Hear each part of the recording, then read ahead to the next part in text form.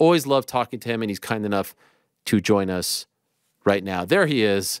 Andre, are you okay, Andre? What's going on What's up, here? guys? What do we got in here? I'm in. Uh, I'm, I'm doing the hyperbaric chamber. Um, this is my Super Saiyan training. Now, um, there's a place here in Sacramento called Restore, um, Restore Hyper Wellness. I come here. I do um, hyperbaric training. It's really good. So, um, it's one of the only things that's been proven to reverse traumatic brain injury. Um, Wow. People who have been in really bad accidents and stuff. Uh, so I use it as um, I use it preventatively because um, I don't know if you know this or not, but people try to hit me in the head Yes. almost every day. No, So, I've, I've heard about this. um, yeah, yeah, it's a pretty crazy thing. So I I try multiple times a week to get in the chamber, and um, it's really good for you, man. It's basically it's basically a little tank that pressurizes like an airplane, like uh, like altitude almost, and then they just flood you with oxygen. It's really good for your brain. It's really good for your body. Um, wow. And what do you? Yeah. How long are you in there for? Um, you can do 60 or 90 minute sessions. Kind of depends on the on my schedule and um, how bad I have to use the restroom after 60 or 70 minutes. And when I'm now, it's not bad, but when I'm in the middle of fight camp and I'm getting like a gallon or, or I'm close to fight week and I'm getting a gallon of water in a day, um, being stuck in a in a pressurized bubble for 90 minutes is um, it's a real test. But yeah, I do an hour, I do 90 minutes, I do. It just depends on the schedule and depends on how I'm feeling. But um, it's it's something that I'm that I've introduced into my training. It's been really helpful. It like uh, I'm trying to do more things to give back. You know, it's like you, you train three times a day, you bust your ass. Sometimes just taking a rest day isn't enough. Like just doing nothing isn't enough. So now my rest days, instead of just not fighting, they actually consist of um, active recovery. You know, it's like you can't just withdraw from the bank every single day. You got to put stuff back. You got to you got to you got to put stuff back in. So um, this is one of those things. It's been good for me. And by the way, what do you do to pass the time when you're sitting in there? I read comic books. nice. Read comic books. Yeah, I heard you and Jose on I mean- the Saturday. I had no idea what you guys were talking about. I mean, all of that seemed Yeah. very foreign to me, but it sounded great. Yeah, he's the man. He's super knowledgeable about. Um, he's super knowledgeable about comic books. I, I really enjoy uh, Jose Youngs. I don't know what you guys. He's with you guys, right? Yeah, yeah, yeah. Yeah, I don't know what you're paying him, but you should triple it. The Okay. guy's the man. I'm sure. He's one of the only. He's one of the only MMA journalists I look forward to, to talking to. There's some great MMA journalists, but Jose Youngs is is uh he's the man, dude. Um, Well, he should he should clip that and send it to the bosses. Uh, hopefully, we maybe we're not number one pound for pound on your list, but maybe we make the top ten back half. no, no, no. You guys are. Uh, I I look forward to talking to you too, but you don't really want to talk to me that often. Wow. You know, we, we only we, you only want to talk to me like every I don't know a couple years. Jose's always excited to talk That's to not me, probably tr- because we talk about comic books. I well, But we, you were it- on the show earlier this year.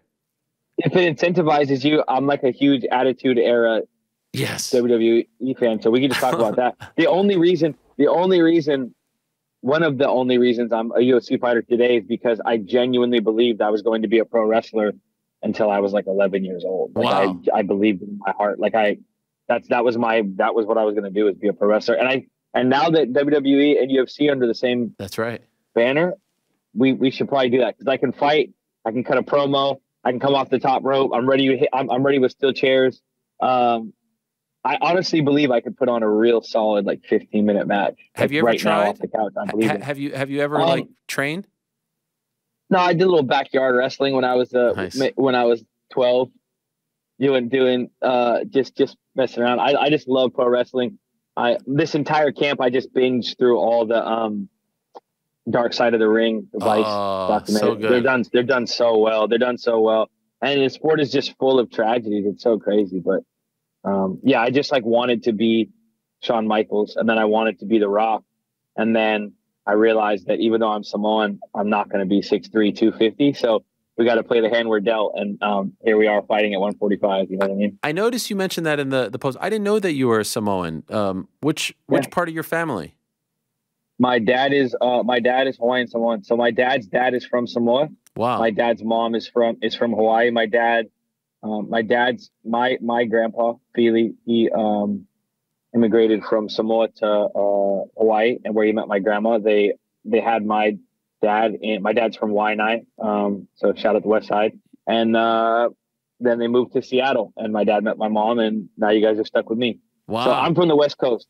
I'm from the West Coast. I was born in Seattle, and I've been raised in Sacramento, in California. But my dad's from from Waianae. I'm Hawaiian Samoan. So, um, and I, it's, it's crazy. Actually, my sister did a 23andMe um, recently, and I'm I found out like I'm I'm Hawaiian Samoan. My mom's white. I'm uh, predominantly Irish, I believe. My dad is Hawaiian Samoan, but I'm also, you know, there's Tongan, Tahitian, Maori. There's a bunch of other stuff in there. So um, it really it was really cool. It was really cool to see that, and um, yeah, it, it's it's something I'm very proud of, and and um, I'm I got moved away from a lot of my Polynesian family as a kid, um, but I've reconnected with them recently and taken a lot of trips out to Hawaii, and I'm I'm planning on doing a, a, a trip this year, and um, it's been really good for me to reconnect with those roots. You know, it's like sort of feels like a missing piece of me has been replaced. You know, has been has been um, reattached. You know. Mm-hmm. Um, I was mentioning this before you you connected here. Um, I, I never understood people who were dog people who loved dogs, who treated dogs as one of their own, who lived with dogs. And then my family got a mm. dog five years ago, and now I can't imagine life without a dog. And the you know I love this dog more than anything. And so when I saw what, what mm. happened to your dog, um, you know my heart went out to you, and I, and I really truly felt your pain. And so I'm just wondering mm. how difficult it was for you to deal with all of that as you're about to fight in a very important fight?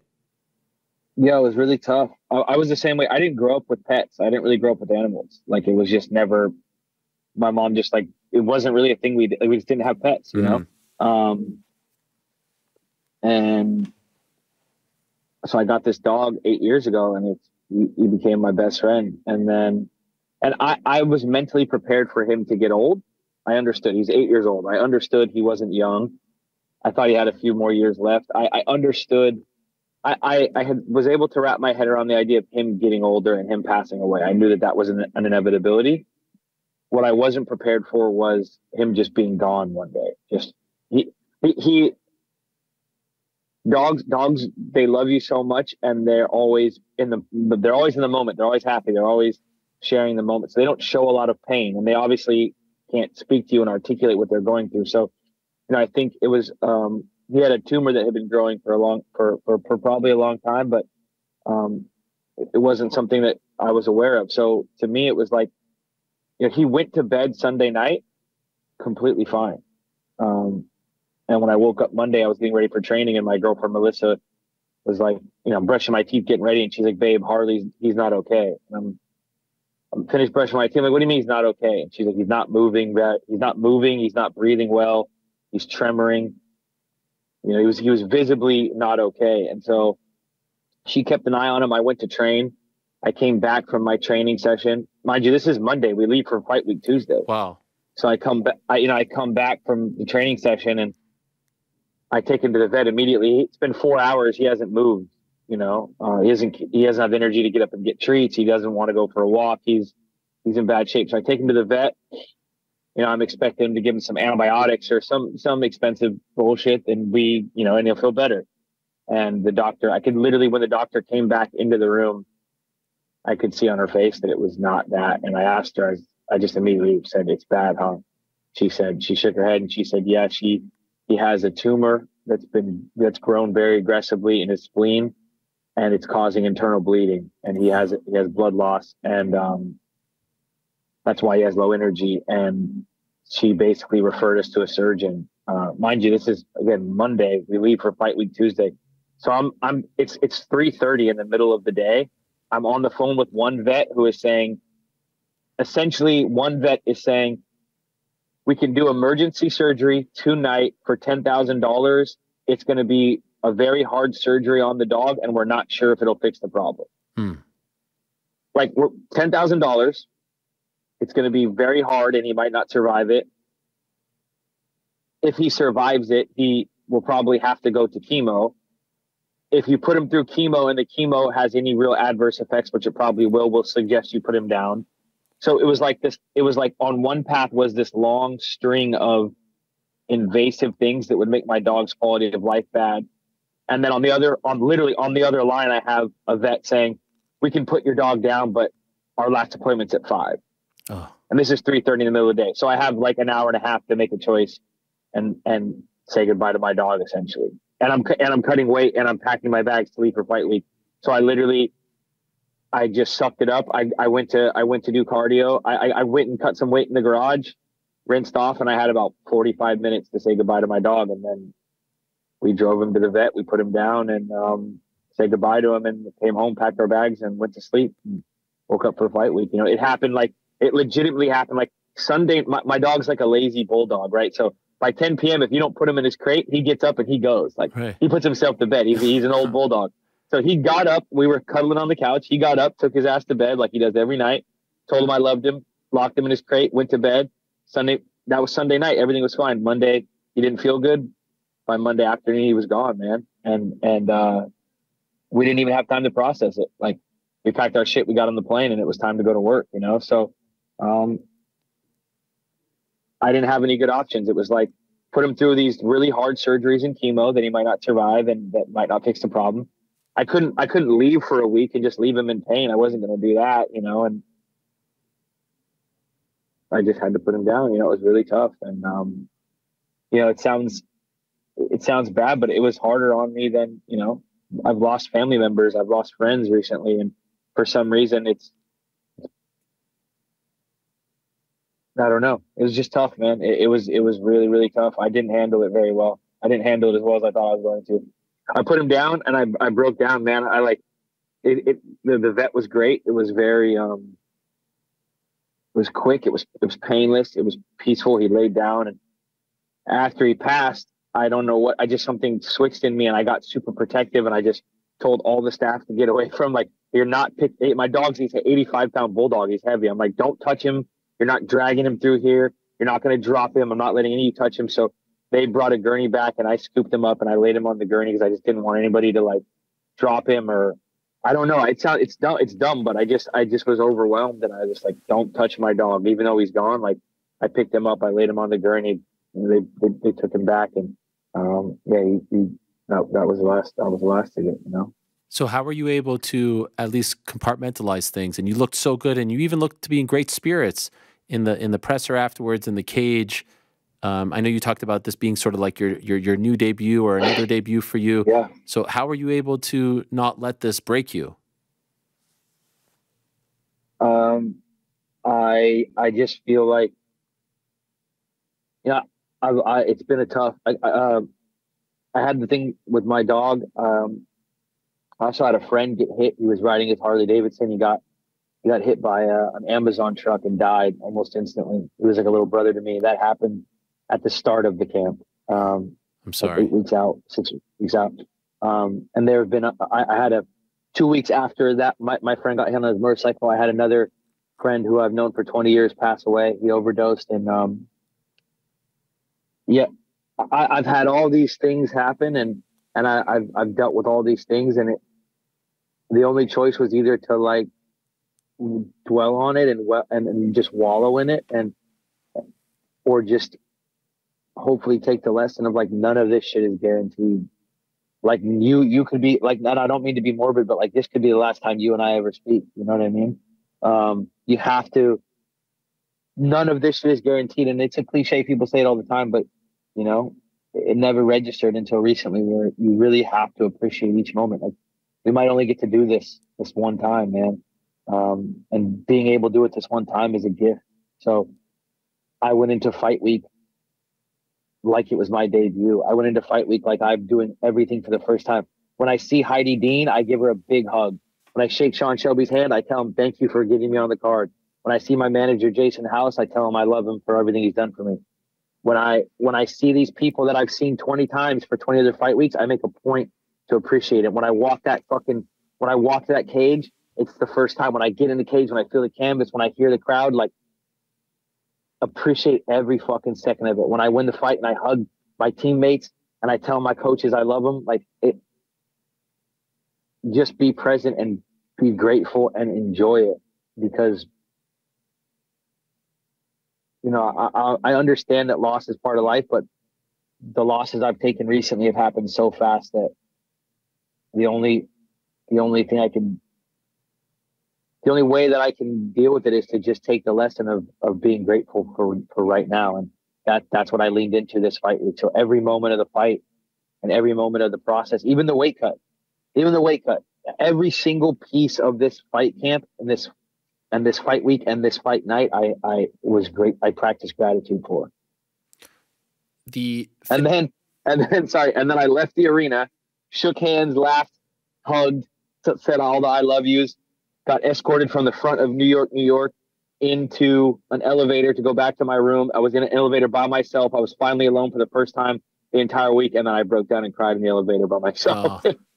I like that. Got, I was yeah. able to finally get it out, but it took a whole week of not being able to process it. So, um, yeah. The the the end sequence there after you knocked out Almeida, a very impressive sequence. Then it looked like you were going to jump on the cage, and I know you said that they, yeah. you know, they threatened to fine you, and then yeah. you said, "All right, all right," and then you went to the other side of the cage and you got down on your knees. Um, what yeah. what were you thinking? What were you feeling? What were you saying in that moment? Uh, I wanted to. I I wanted to see Jon Anik and Joe Rogan and Daniel Cormier, and I wanted to tell Megan Olivier uh, that I love you. And so I sat down and I wanted to, um,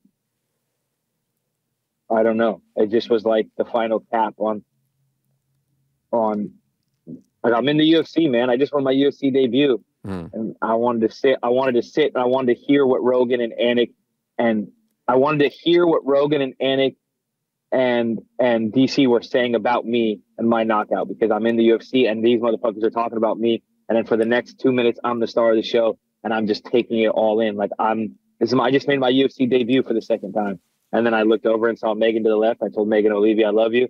And then I got up and I screamed at my coaches and they screamed back at me. I gave them a hug and it was a it was a perfect moment, man. It was it was um it was a perfect moment. It, it was I went to jump on the cage yeah. and then I literally thought about all the times the whole fight week that they said they were going to take my yeah. money if I did that. So I, and then I just went, never mind, yeah. never mind.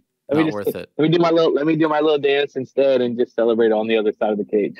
The, the, the factoid about uh, not speaking to Rogan in 10 years was wild. And then I went back and looked at everything Crazy. and it was either like you were overseas, so he's not there, yes. or did, did, did that pay-per-view, for lack of a better word, like streak or curse, did that get to you? Did, were you starting to think like, why aren't I getting these big wins on these pay per views? And sure. th- they were. I mean, the it's the whole thing, man. Like, dude, I got to the UFC at twelve and one. I cleared out the whole West Coast. There was no one else to fight. When I got called to the UFC, I got called on two weeks' notice. It's the only time I've ever missed weight. I was getting ready because I was so frustrated. I was 23 years old. I was 12, 12 and one with like however many finishes. I was so frustrated the UFC hadn't signed me yet. I was going from 145 to 170, and I was going to fight Max Griffin for the local 170 belt because he was the other biggest name on the West Coast. So shout out to Max Griffin. That's my that's my buddy now. Uh, we're teammates, and I love seeing his success. He's in the UFC. He's a 170 pounder. But I was going to jump from 145 to 170 just to make a big statement so the UFC would notice me and sign me. Um, they called me in on two weeks' notice. I cut 30 pounds in like 12 days. I made my UFC debut. I won my UFC debut, my first UFC debut in 2013. I was 13 and one. Like I was the I was that fucking kid, dude. I was like, I had a conversation with a UFC and with a with a UFC management person um, the night before my second UFC fight, before I was going to fight Max Holloway. I was 13 and one, and they said, "After you win this fight, we're going to have a big conversation." and I didn't win that fight. And from that point on, it's been up, down, up, down, up, down, up, down, up, down. Like it's been 10 years of me losing sleep at night because I know that I went from being a guy that kids, a kid that guys were real excited on and real hyped on and a prospect that was really like highly touted that was 13 and one with like 12, with like however many finishes to being a guy that people look at as like just a UFC fighter. And that's not, I'm not a UFC, I'm not just a UFC fighter. There's nothing wrong with being just a UFC fighter, but I'm a fucking world. I'm one of the best, if not the best 45er in the world. When I'm, when I'm, I'm, when I'm in my flow, when I'm in my zone, I'm the best in the world, man. And um, not being able to prove that for however long it's been has um you know I think we've seen flashes of it. You know, if I'm being objective, I think we've seen flashes of it. You know, the Daniel Pineda fight is a pretty good testament to that. Um, there have been other ones, but the the, the Moraes, Moraes fight in Sacramento, you know, there there have been things, but I haven't found that consistency yet, and I'm excited to do that now because it's been kind of a fucking nightmare, dude. It's been kind of a nightmare to. I, I I'm when people say, "Oh, I lost sleep" or keeps me up at night. I have legitimately lost sleep and stayed up at night, kept me at myself up at night, racking my brain like, how did I end up an almost 500 fighter in the UFC? It's a it's a fucking nightmare. But I I'm the one that's able to pull myself out of that. And the place that I found Saturday night, the place I'm at in my life now, the love and the gratitude that I've cultivated in my life, the just where I'm at, I'm able to perform how I did Saturday night for the rest of my career. And I just, I can't wait to show it. For me, for me, fighting was always about love. Like no one loves you the way they love you after you win a fight. And I was 19, like fighting at Indian casinos for 500 bucks, fucking stealing groceries, like putting gas in my Cadillac, fucking from my, the, the ash, the change in my ashtray, like struggling to make it. But the reason I fought was because no one loves you the way they love you after you win a fight. Strangers are cheering and people hug you and everyone loves you. And you get to be the man for those five minutes after the fight. And I was chasing that for so long. And now I'm not chasing that anymore because I've cultivated love in my life. I have so many people that I love and so many people who love me. And, and I'm just such a healthier, stronger, hopefully better person that my whole my whole view has changed. My whole motivation has changed. My whole driving force is so much more powerful and and and authentic now because you know I'm chasing I'm chasing different things. So I was just going to ask, like, what do you have to do to get back on or or go on a streak and not go up and down?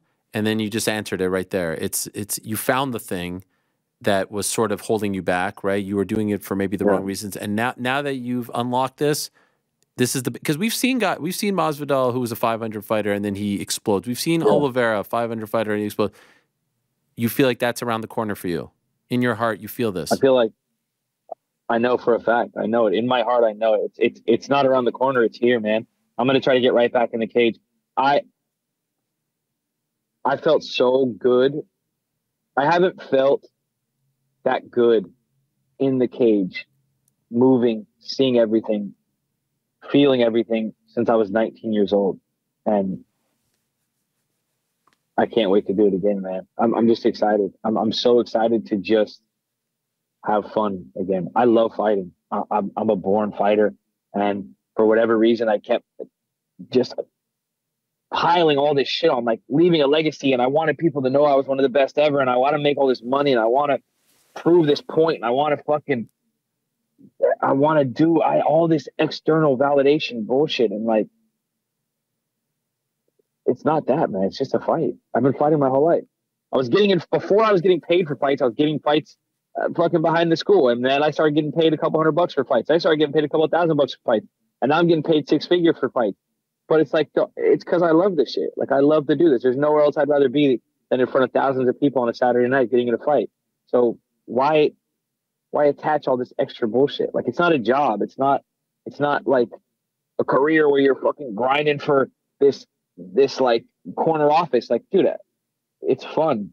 I love this shit. So now that I'm back to that, I've just kind of circled back to to to where I was when I started, and it's it's a it's a beautiful feeling, man. I like I have just an immense gratitude for where I'm at right now and the people who helped me do it.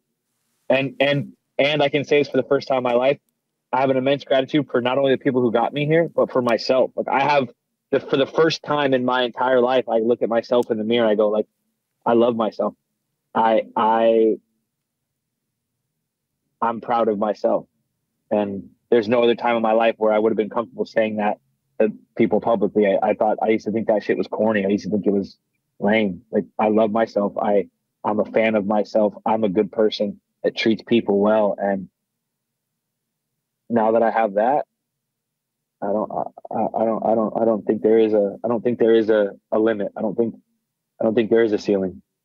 I couldn't be happy for you, man. Uh, I, I honestly, I remember that debut in Thank Houston brother. like it was yesterday. Uh, Melendez and Sanchez fought on that card. That was a crazy card Yeah. at the Toyota Center. It was a great card, man. And to see your maturation, your evolution, and as I said before, you, I'm, I'm sorry if you think I, I don't reach out enough, but I truly, No, I'm just giving you shit. but I, I know. really do I'm look forward shit, to brother. talking to you because you're so Thank you so insightful, much, you're man. so thoughtful, you're so introspective. You you wear your emotions on your sleeve.